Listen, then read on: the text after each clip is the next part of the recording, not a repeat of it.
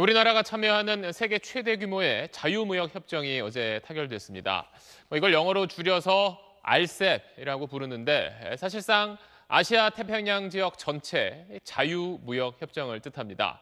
뭐 아세안 10개 나라에 우리나라와 중국, 일본, 호주 거기에 아직 참여할지 망설이고 있는 인도까지 더하면 그 규모가 지구촌 인구의 절반, 세계 전체 GDP의 약 32%에 이릅니다. 아, 협상이 타결되기까지 7년이란 시간이 걸렸는데 이걸 두고 경제 주도권을 둘러싼 미국과 중국의 미묘한 힘겨루기도 느껴집니다. 노동규 기자입니다.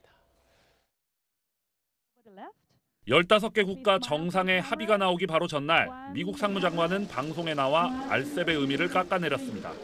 RCEP is not much of an agreement. It's not a free trade agreement. It's a very low grade uh, treaty. 미 국무부도 때맞춰 자국의 인도 태평양 전략을 재강조하는 보고서를 냈습니다. 미국이 주도하던 TPP, 즉 환태평양 경제동반자 협정이 트럼프 행정부의 탈퇴로 사실상 좌절된 시점에서 중국이 포함된 알셉이 먼저 치고 나가는 상황을 견제하려는 의도가 엿보입니다. 오늘 상하이의 대규모 수입 박람회의 모습을 드러낸 중국 시진핑 주석은 기회를 놓치지 않았습니다. 자유무역 의지를 강조하며 트럼프의 미국 우선주의를 우회적으로 비판한 겁니다.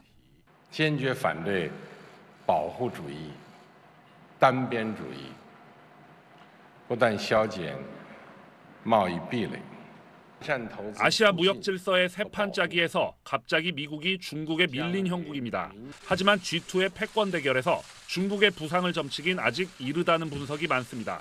미국과 밀접한 인도의 참여가 확정되지 않은 데다 이미 양자 FTA를 맺은 국가들이 많아 효과는 지켜봐야 한다는 겁니다.